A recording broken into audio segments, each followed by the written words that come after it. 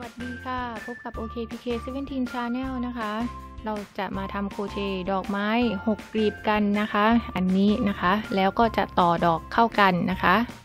เราจะเริ่มนะคะ ทั้งหมดนะคะ 18 หลักด้วยการทำวงกลมนะคะ อันนี้ยังไม่นับนะคะ ต่อไปนะคะ แทงลงนะคะ แล้วก็ดึงไหมขึ้นมา และพันไหมเกี่ยวลอดสองห่วง อันนี้คือ 1 หลักนะคะ เราจะทำแบบนี้ไปทั้งหมด 18 หลักนะคะ 2 แล้วก็ทำต่อไปนะคะให้ได้ 18 หลัก ดึงเส้นไหมรูดนะคะ ให้ชิดกันแล้วก็ทำการปิดวงค่ะ ก็คืออเลือกนะคะเจ้าตัวโซ่ที่1นะคะ หลักที่ 1 นั่นเองนะคะ แทงลงไปแล้วก็ดึงลอดห่วงเลยนะคะ อ่า โอเค ได้ยัง ได้แล้วนะ นี่นะคะ ได้เป็นวงกลมแล้ว ต่อไปนะคะเราก็จะเปลี่ยนสีของอเส้นไหมนะคะ เพื่อที่จะทำตัวดอกนั่นเองนะคะ ตัวกลีบนะคะ เดี๋ยวเราจะเปลี่ยนสีเราจะใช้สีเหลืองค่ะ ใช้เข็มนะคะ เกี่ยวเส้นไหมสีเหลืองตัวนี้นะคะที่เราจะเปลี่ยนนี้นะคะ แล้วก็ดึงเส้นสีขาวให้แน่นนะคะ นี่นะคะ เสร็จแล้วทีนี้นะคะ เราก็ อาจจะพันไว้ก่อนก็ได้นะคะ เพื่อที่จะไม่ให้เขาหลุดนะคะนะเดี๋ยวพันแป๊บนึงนะคะ สักสองครั้งนะคะหนึ่งนะแล้วก็สองนะคะ อันนี้ชึบและต่อจากนั้นนะคะเราก็ขึ้นสองโซ่นะคะ ที่โซ่สีเหลืองนะคะ ขึ้นนะสองโซ่ค่ะหนึ่งและสองนะคะ และหลังจากนั้นนะคะ มันก็จะพันอย่างนี้นะคะ แล้วก็ลงที่หลักโซ่ที่เชื่อมไว้นั้นนะคะหนึ่งครั้งนะคะ ให้พันไหมดึงขึ้นมาพักไว้แบบนี้นะคะ แล้วก็จะพันไหมนะคะ แล้วก็ลงที่โซ่ถัดไปนะคะ นี่นะคะ แล้วก็พันไหมดึงขึ้นมาพักไว้ทำที่โซ่เดิมนี้อีกครั้งหนึ่งนะคะ พันไหมแทงลงแล้วก็เกี่ยวไหมดึงขึ้นมาพักไว้นี่นะคะ และทำเช่นเดิมนะคะที่โซ่ถัดไปนะคะสองครั้งนะคะ ก็ครั้งที่หนึ่งนะคะ โซ่ถัดไปนะคะนี่นะคะ พันเก็บไว้แล้วครั้งที่สองแทงลงนะคะ แล้วก็พันขึ้นมาเก็บไว้แบบนี้พักไว้ หลังจากนั้นนะคะเมื่อครบ 3 ช่องแล้วนะคะ เราก็จะพันไหมเกี่ยวลอดนะคะชึบนะคะลอดทุกห่วงเลยนะคะนะและหลังจากนั้น ก็พันไหมนะคะ ปิดนะคะห่วงบนนี่นะคะ แล้วก็ขึ้น 2 โซ่นะ1 2 ไม่พันไหมแทงลงที่เจ้าตัวช่องที่ 3 นะคะ ของกรีบนะคะ พันไหมดึงลอดห่วงเลยค่ะ เพื่อเป็นการปิดกรีบนะคะ และต่อไปนะคะ เราก็จะ งลงนะคะ ที่โซ่หลักถัดไปนี้นะคะ พันเอาไหมขึ้นมานะคะ แล้วก็ดึงลอดห่วงนี่นะคะลอดเลย แล้วต่อไปนะคะเราก็จะขึ้นนะคะสสองโซ่นะคะ 1 2 และทำเช่นเดิมที่ช่องเดิมนี้นะคะ ให้เป็นหลักที่ 2 ดึงไหมพันไว้แบบนี้นะคะ แล้วก็ทำต่ออีกอหลักถัดไปนะคะสองครั้งนะคะ 1นะ2ค่ะ และก็หลักถัดไปนะคะ 2 ครั้งนะคะ มันจะเป็น 3 ช่องเนาะนี่ไงหนึ่งสองสามนะคะ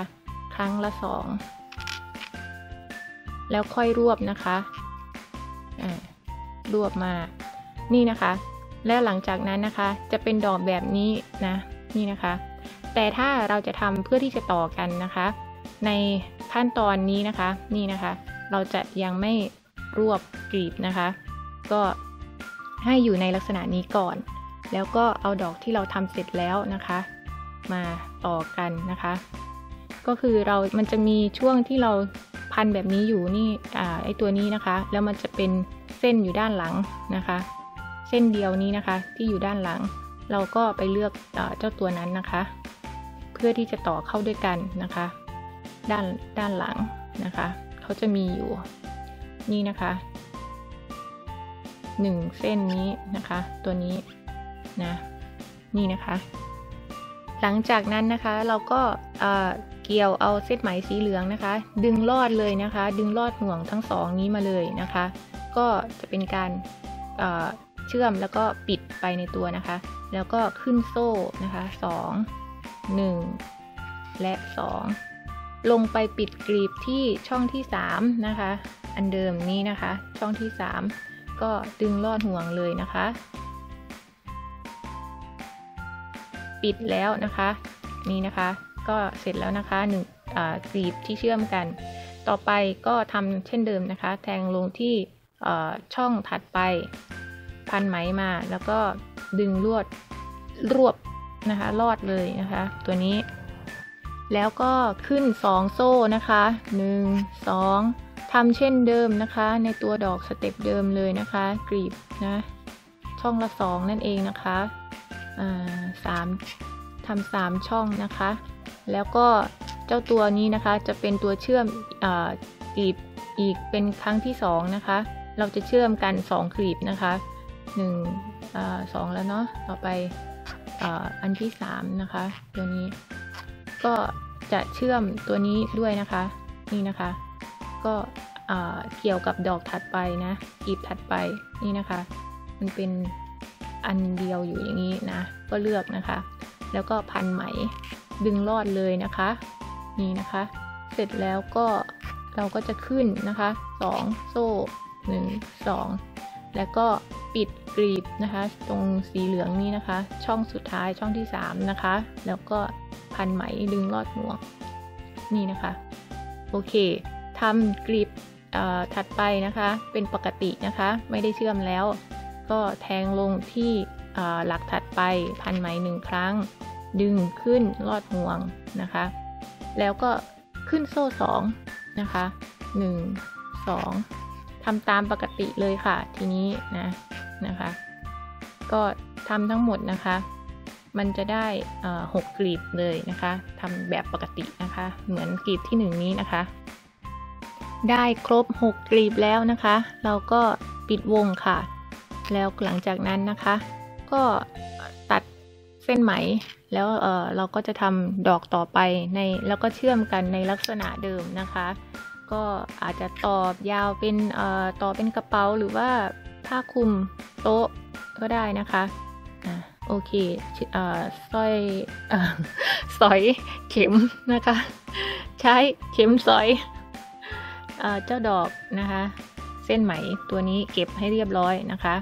อ่าถ้ามันรูมันกว้างก็เดี๋ยวขยับนะคะอ่าโอเค เสร็จแล้วเนาะยังไงก็จบคลิปนี้ก็อย่าลืมกดคลิก subscribe กดติดตามกันด้วยนะคะ ขอบคุณค่ะ สวัสดีค่ะ